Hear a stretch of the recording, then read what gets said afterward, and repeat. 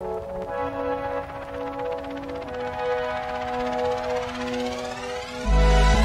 The coolest part of my job as an oceanographer is that I've spent about a year of my life at sea on 12 different expeditions all over the world, which means I get on a boat and I do not see land for two whole months. You make really great friends and get to see some really beautiful places. I did an expedition where we ended in Tahiti and another expedition where we went to the North Pole.